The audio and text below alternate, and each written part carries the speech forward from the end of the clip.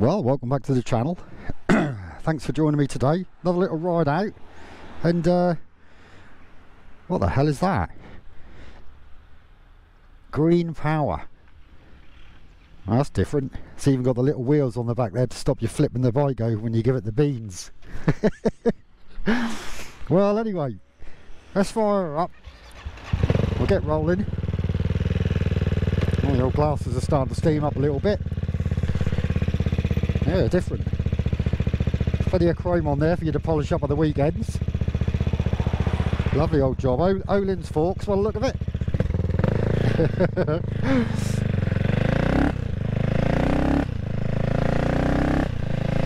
well, yeah, the main reason for the video today is, uh, it, is to discuss really why, why I purchased the, the CCM Spitfire 6. And uh, let's have a little discussion about that. But first of all, uh, if you're new to the channel, then you won't be aware that I've, yeah, consider subscribing, hit that notification bell. Plenty more content coming on the channel. Uh, but yeah, just recently bought the or ordered the Moto 2 Street uh, Triple RS. So that that yeah, I'm looking forward to to uh, to getting that one. But yeah, the reason why I bought this Spitfire 6 was because it's absolutely I, I, I, where do I start really to be fair?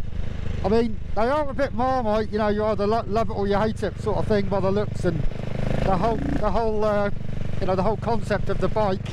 But I'll pull over in a little while and I'll give you a little walk around of the bike and I'll you know show you some of the things that I absolutely love about this this Spitfire 6 I've had the bike a few months now and uh, yeah I've racked up about well over 700 mile now so another thing I will touch on is uh, yeah there is there is no local dealership so um, it's just a factory up in Bolton here in the UK and uh, fairly nippy nippy today here.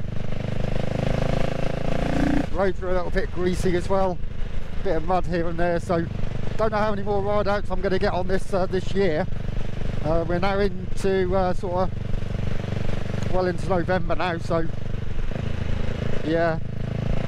Very cold but I mean I, I, love what I love about the, the CCM the brand you know the actual um, the product if you like is uh, the attention to detail the uh, you know the, the quality the fit the finish everything. These are these are hand built up in like I say in Bolton so um, I have just had a service done uh, so obviously you have the option of you know taking the bike up to Bolton which for me that's not really uh, an option to be fair or feasible anyway. So I actually had uh, one of the mobile technicians come to the house and he done a great job. He done the service on the bike. I mean it's only a you know it's not a massive service on the first service so he's, he's drained the oil and uh, he actually replaced the uh, the slave cylinder the clutch slave cylinder so uh, little problem I had nothing major but I think um, he had one in the van, so he, yeah, I mean, what about that? Swap the slave cylinder over the clutch is, is, is lovely, you know, it's, it's a hydraulic clutch, so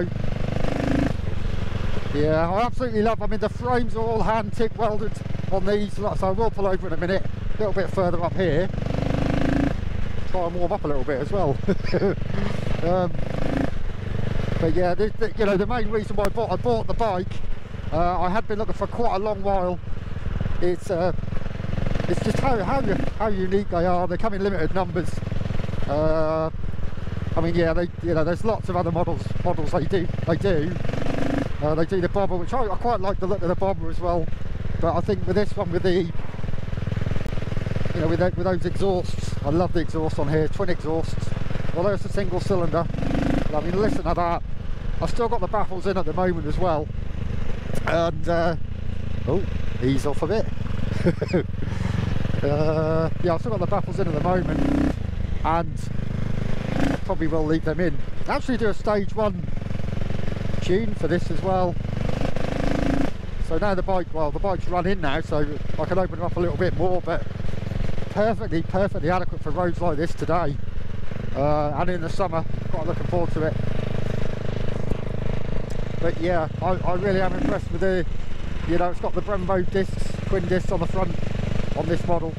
Uh, it's an optional extra, and uh, yeah, you, yeah, you, Marzocchi forks, really good braking. I mean, the rear brake is, is now actually functioning reasonably well, and uh, considering like I could have pulled in there actually, give you a walk wander around the machine, but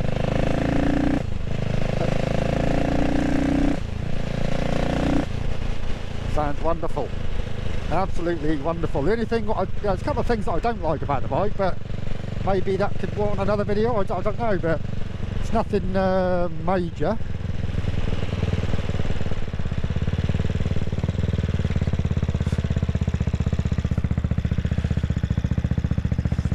Just pull in here actually. Whoop. Hopefully try not to fall off on the gravel. right. I mean, just listen to that. Let's turn her off a minute. Uh, hit the kill button. Press and hold. Oh, jump off. One thing I don't like is where the side stand is. Uh, that's a little bit awkward there. You have to, uh, you have to really get off the bike to, uh, yeah, to put that down. But like I say though, I mean, look at that. Look at that. Look, what an absolute beauty. I mean, they are like Marmite, so you either love them or you hate them, really. One thing I have just ordered as well is uh, some little threaded blank caps to go in here. Uh, some little M10, I think they are, little plastic uh, threaded caps to go in there. Yeah, just to just to sort of you know finish it off a little bit here and there. But I mean, look at these welds on the frame here. Absolutely lovely. There, you know, there's such a you know um, attention to detail and high quality build there. All carbon fibre here. I love. LED lighting, LED indicators. I turn the indicators on actually, there's no hazards on here, but if I turn the indicators on, they're the uh, progressive type as well, which I love. All come with the bike, uh, no optional extra there. Uh, what else we got? Minimalistic switch gear and all that, but yeah, I mean, well, I, I, love it, I absolutely love it. The, the headlight as well, all LED. I mean, look at that. I'm trying not to get run over in the road but yeah now she's run in I'm uh, you know I can give it a little bit more beans. So uh, exhaust is starting to change colour there as well but absolutely cracking. Right yeah we're going to jump on and I'm going to ride a little bit more. Ah! side stand flicks up on its own so there's no uh, it's not linked to any any cut off switch or anything like that. Start the bike up press and hold the fire button. Lovely. Take a right here try not to get squashed.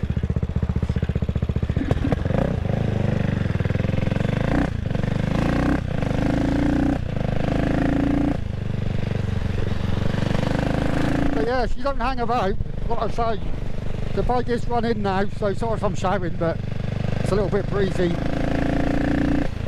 But the bike is running now, so I can go a little bit more, uh, more on the gas with the beans, but slow down a bit through here you could literally wake your dead up with this bike, it's so loud.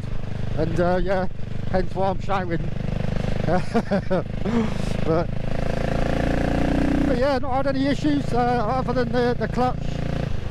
So um, I'll say the technician decided to put a new slave cylinder like I've just said earlier. But,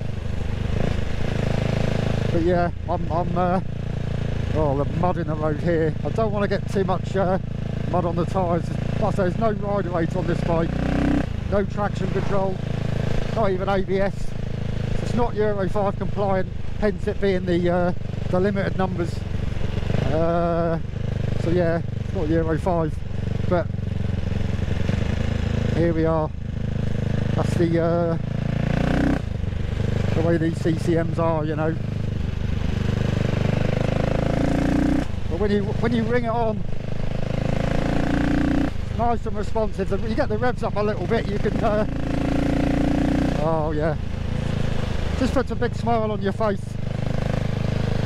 Just a bit disappointed about these roads today, but I do live in Norfolk,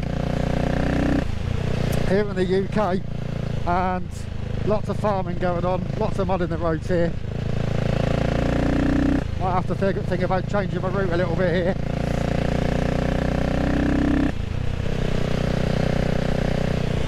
But yeah, there's a couple of things I don't like, but I will do another video. There's a few things I don't. I, look at this mud. I mean, this is horrendous. For us motorcyclists, I really do. Uh, I really don't like that. I think the farmer should at least put a sign up in the road or whatever saying, uh, I don't know, mud in the road or sort of warning you before it's literally you're right on top of it. Anyway, I'm not. It's not a moaning video, but.